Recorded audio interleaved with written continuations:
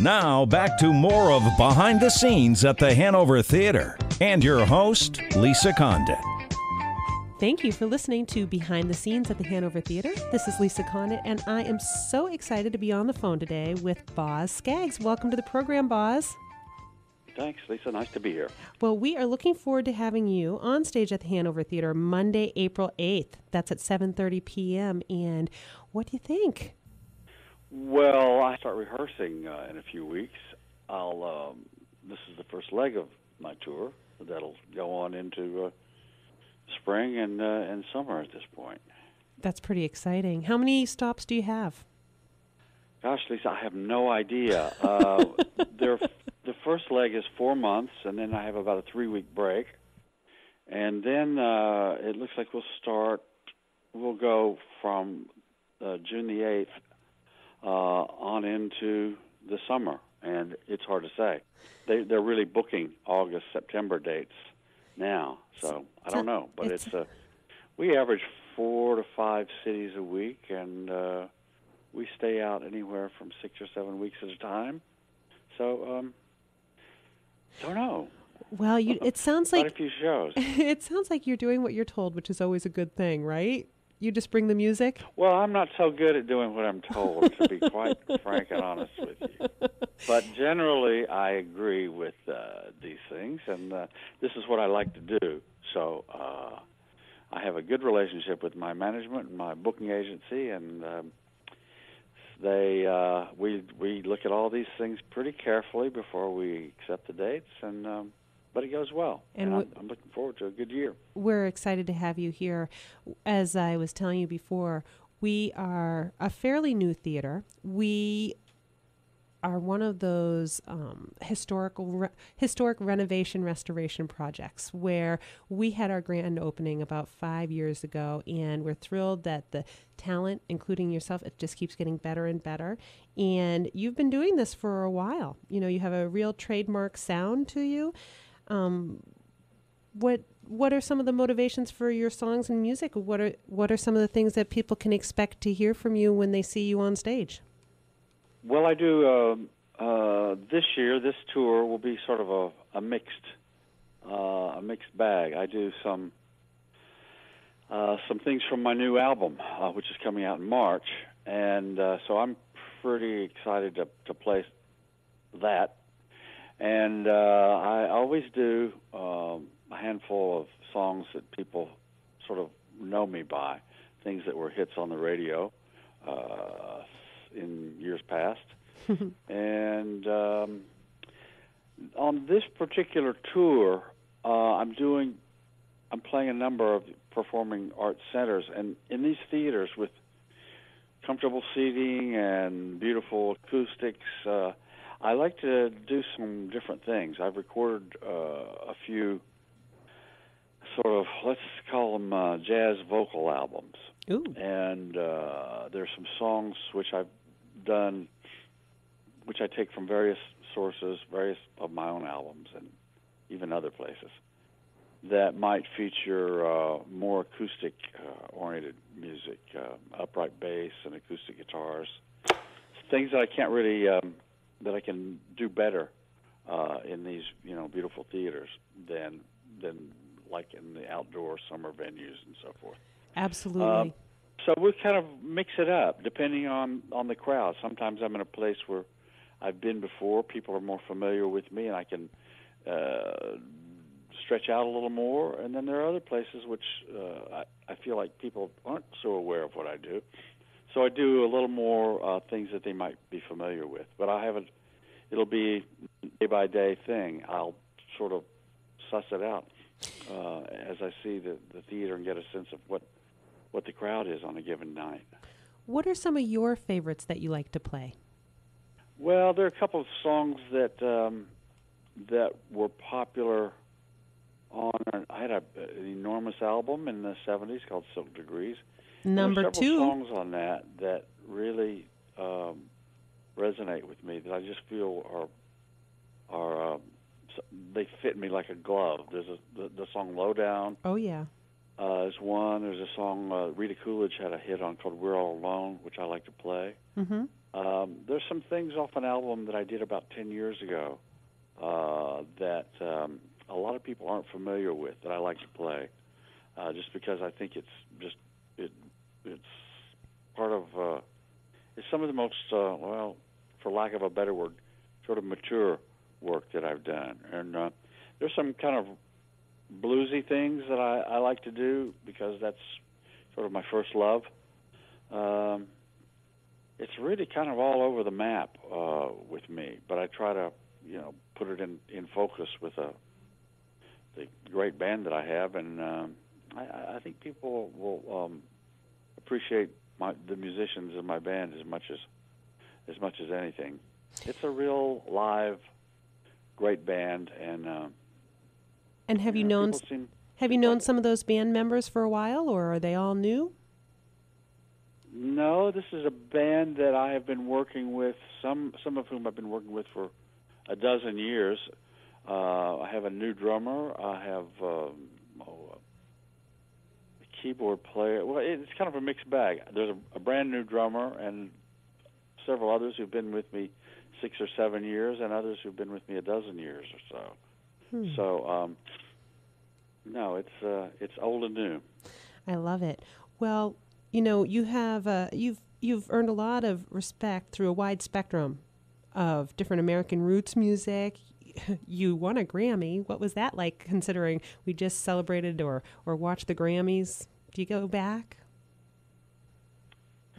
Well, um, on the uh, night that the Grammys were awarded that year that I won, I was actually uh, doing a um, a radio promotion show in uh, in Dallas, and um, it, there were several other you know acts on the on the on the show, and uh, uh, as I was introduced to come out and play, the uh, the moderator of the the MC of the show said, uh, and by the way, you just won the Grammy for the best uh, R&B song of the year, and um, presented uh, sort of presented me a facsimile of the the award.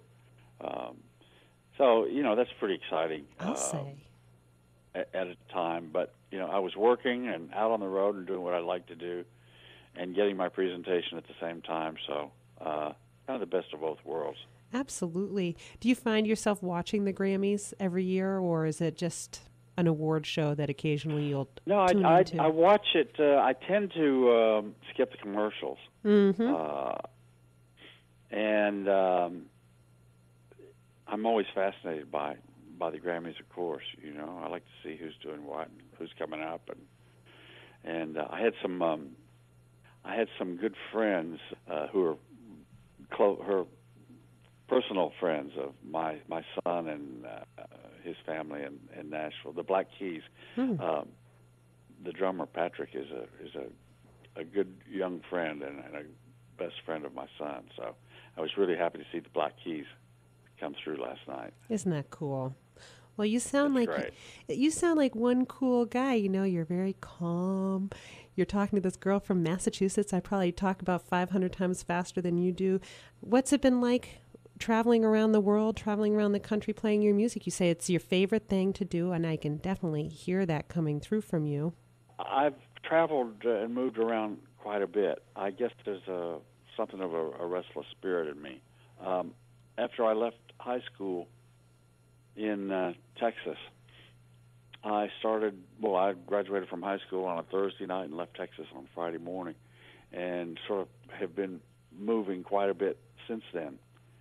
I didn't take well to college. I just figured out early on that I was a musician, and sort of chased that dream around from the time that I was about 17 years old. And um, I, at that time, I traveled. Uh, I spent about three years traveling uh, around Europe and, and Middle East and, and Asia, and came back to the states to play music in, uh, in California after that. And um, it was my first time in the studio, and my first. I got my my first recording contract, and uh, went on the road and worked sort of nonstop uh, for oh, a dozen years building up my band and uh, uh, making records and uh, touring, and um, that led to uh, uh, a lot of success for me. And um, there were a few times in my career when I sort of settled in for a while, but but mostly I like the balance of, of recording and and uh, and traveling uh, for concerts. Hmm. So um, that sort of satisfies my my uh, wanderlust and uh, and my work at the same time. So it's a pretty good balance, and I like to see new places. I think it keeps me. Uh, it's stimulating and sort of piques my imagination, which is not bad for songwriting. Oh, it sounds like a wonderful life. It really does. Are there things that you've noticed that have changed drastically or dramatically from when you were starting out to now? Well, the biggest thing is the business itself. You know, Mhm. the the music industry was was quite different, but that's not so surprising. It goes through big changes.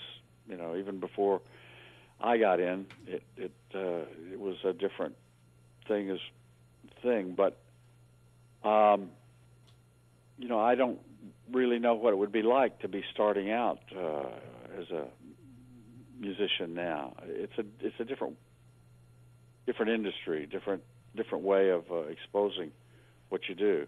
But the same the same things go on. I mean, basically, if if someone is uh, an aspiring musician or artist of any kind, you just uh, try to uh, perfect what you do and and find an audience wherever you can find it. And in many cases, you you just want to expand. You want to get it, it by by getting a greater audience, you get more facility to do uh, what you want to do with your art. Mhm. Um, you become you, you you find your voice and you find your footing and and uh, one one step leads to the next.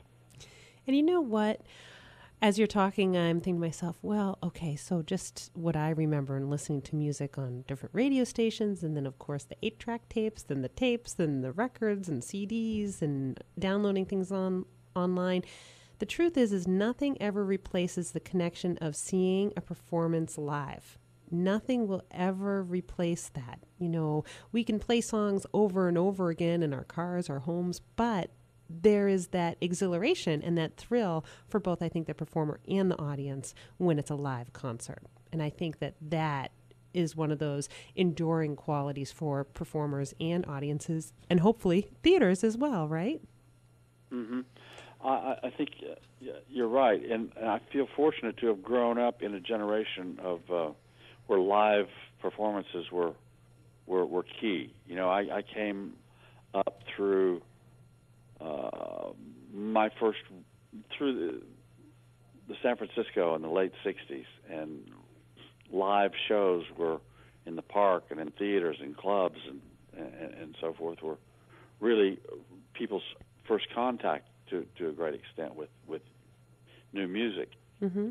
and that audience and that time uh, it was just uh, really important and and common for people to go out and see see live music and uh, you know that's been an important part of uh, my generation of musicians we still go out and play to a lot of people because our generation was was one Mhm. that uh, really in which live music was a vital part. Now, the same thing is true today of uh, of a generation. My son is young, uh, early 30s, and he and his generation have been going out and seeing live music. They go to clubs, they go to uh, uh, big concert uh, festivals, and and there's a lot of music available to them. Mm-hmm. And I think it's I think music is as healthy as ever for that for that reason. And live is you know there's nothing like it. There's Uh, nothing like it. It's true. You know, I have to ask you. I I know that you were a guitarist with the Steve Miller Band too, right? When I was uh, playing with Steve, it was it was called the Steve Miller Blues Band, and uh, I was with Steve for uh, oh eight or ten months and made a couple of records and and we toured quite a bit. So, is there anything that you, else you want to share with our listeners as they're thinking about, you know, the show you talked a little bit about you like to mix the old with the new. You have a new album coming out. We're looking forward to that. Anything else you want to share? Uh, not really. I mean, that kind of says it all. That's it's what I do, and I'm I'm glad to be back in your part of the country. You know, that's kind of where I cut my teeth when I when I started out uh, my first band. It uh, I was very much, or to a great degree, sustained by you know all the colleges and universities and all the music that, venues that there are in the um, in the Northeast, and uh, so it's kind of a favorite place of mine to come back and play. It's to some extent where I started, and I always feel comfortable Well, back in uh, Massachusetts. we are thrilled to have you, and I know that all of your acoustic work and it's going to sound amazing in our theater, and people are in for a real treat. You know, when they come out and hear you on Monday, April eighth. So, Boz, thank you so much for taking the time to talk with us, and everybody, stay tuned. We'll be back with more behind the scenes at the Hanover Theater.